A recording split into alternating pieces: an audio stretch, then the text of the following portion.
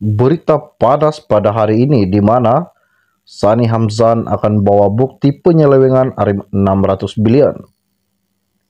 Pengarah Biro Mobilisasi Amanah, Sani Hamzah akan membawa bukti termasuk dokumen berkaitan dakwaan perbelanjaan hampir RM 600 bilion ketika pentadbiran Tan Sri Muhyiddin Yassin jika dipanggil Suruhanjaya Pencegahan Rasuah Malaysia.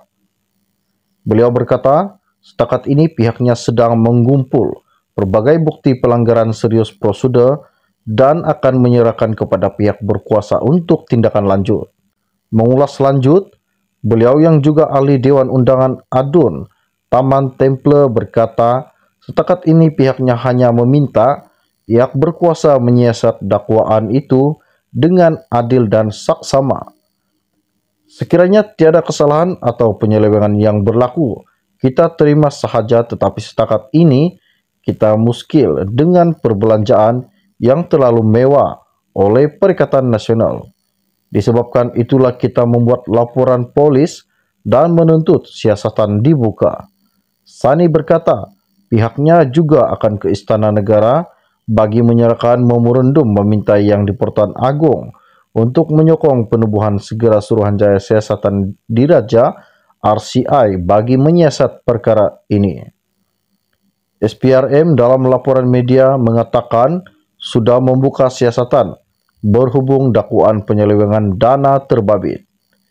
Perdana Menteri Datuk Seri Anwar Ibrahim berkata, Pegawai Kementerian Keuangan mengesahkan bahawa ada pelanggaran serius prosedur berhubungan dakwaan perbelanjaan hampir RM600 bilion ketika pentadbiran kerajaan diterajui Muhyiddin. Muhyiddin dilaporkan menegaskan tidak takut disiasat berhubung laporan polis dibuat beberapa pihak mendakwa beliau menyeleweng dana RM600 bilion. Pengurus CPN itu menerusi hantaran di Facebook menjelaskan tidak mungkin beliau menyeleweng dana itu memandangkan ia adalah uang individu dalam kumpulan uang simpanan pekerja KWSP serta bank yang bukan di bawah kawalannya. Beliau yang juga Presiden Bersatu juga menyatakan tidak pasti bagaimana angka RM600 bilion itu dipetik. Jikapun ia merujuk kepada 8 paket serangsangan ekonomi yang diumumkan ketika menerajui kerajaan yang semuanya berjumlah RM530 bilion. Bekas Ketua Setiausaha Sulit kepada Muhyiddin, Datuk Dr. Marzuki Muhammad pula dilaporkan berkata dakwaan penyelewengan dana bernilai RM600 bilion sebenarnya tidak wujud dan sekadar perang saraf lapuk untuk memburukkan pentadbiran Muhyiddin. Sekian info ringkas dari admin pada hari ini, info-info panas.